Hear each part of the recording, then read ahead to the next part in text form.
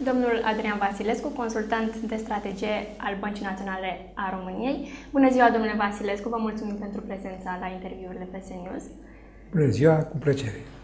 O să încep cu o întrebare care stă pe buzele tuturor în ultimul timp, uh, având în vedere recentele evoluții din Grecia, dar și uh, riscul ca situația să se agraveze din nou, domnul guvernator Mugur Isărescu a dat de înțeles că nu vom intra în uh, zona euro mai devreme de anul 2025.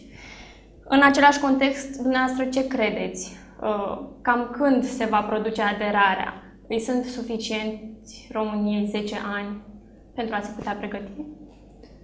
În primul rând, având în vedere că ceea ce spune guvernatorul este ascultat de multe lume și preluat.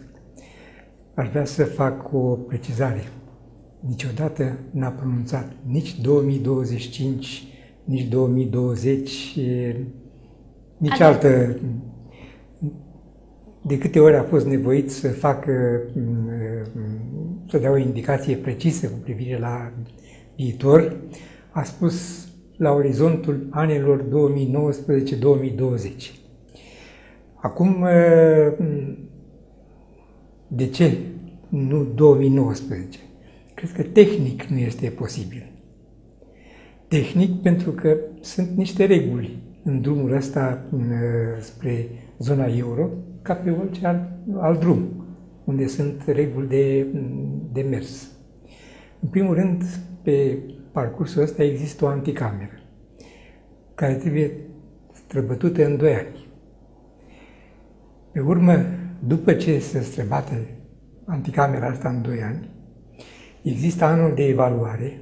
Evaluarea se face întotdeauna cu un an înainte de intrare și în luna mai. Așa că, matematic, oricum am calculat, nu putem să trecem și prin camera de, prin anticameră, și să fim evaluați în luna mai și să intrăm la 1 noiembrie, la 1 ianuarie 2019 în zona euro. Așa ceva este imposibil din punct de vedere matematic și tehnic. Și atunci, guvernatorul s-a ferit să spună vreodată. Eu cred că, dar asta e un punct de vedere personal, poate că ar fi bine să nu punem afișă intrăm la data cu tare. Din două motive. În primul rând,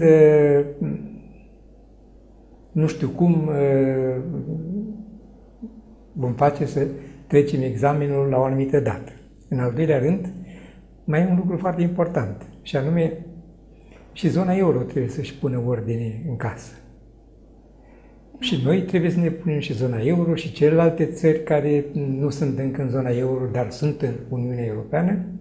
Cert este că, potrivit statutului Uniunii Europene, este o obligație intrarea noastră în zona euro. Cine a intrat în Uniunea Europeană e obligat să facă pasul mai departe în euro-area cu unele excepții. Există o excepție pentru Marea Britanie, există o excepție pentru mm, Danimarca și Suedia are un referendum unde s-a spus nu. Probabil că vor trebui să mm, refacă mm, referendumul.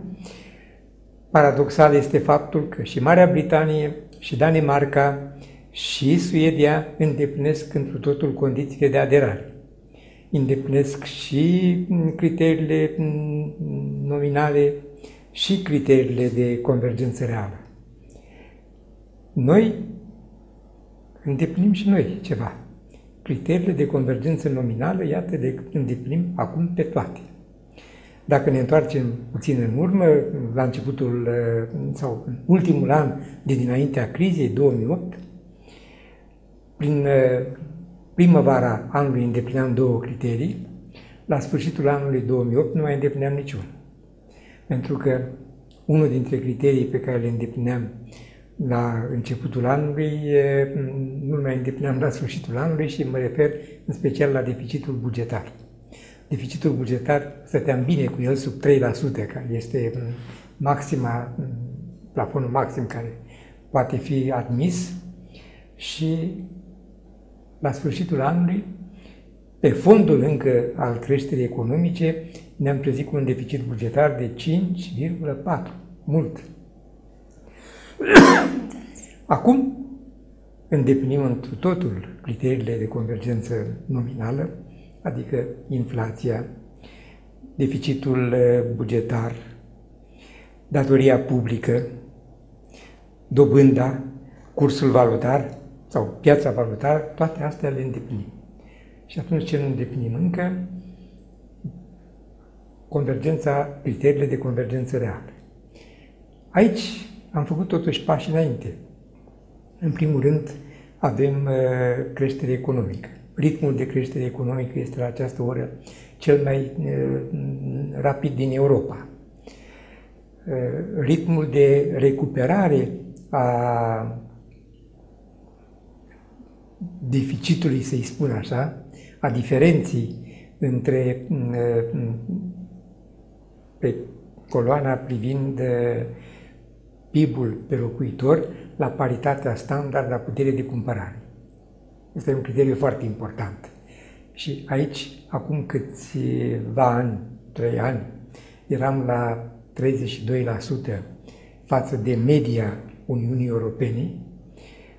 Acum un an eram la aproape de 50%, acum suntem peste 50%. Iată că înaintăm aici, problema este că încă locul între cele 28 de țări la acest capitol, paritatea standard la putere de cumpărare, avem PIB pe locuitor, suntem pe locul 27. În spatele nostru sunt doar bulgari. Da. Avem șanse să depășim câteva țări, una, două, poate trei, în viitorii ani. Avem șanse. Asta nu înseamnă că o să și depășim. Dar fiind șansă, fiind posibilitate, poate că ne ajută Dumnezeu și chiar trecem câteva lucruri și atunci criteriul de convergență mm, reală va fi și el uh, asigurat.